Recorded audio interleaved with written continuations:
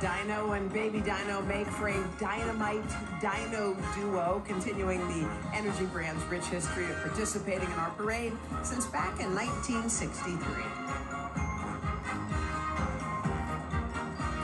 Director Kevin Kessler presents his mighty South Dakota State University Pride of the Dakotas marching band from Brookings, South Dakota.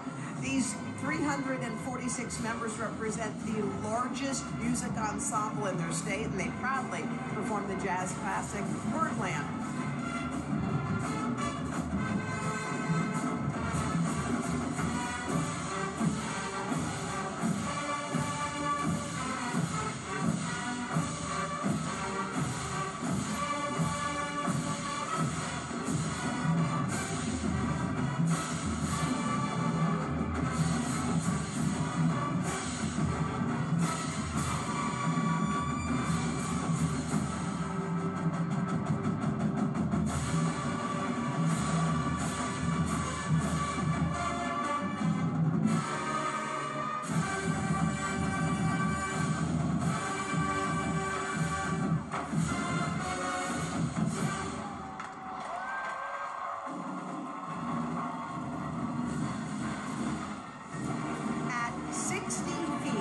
Looking at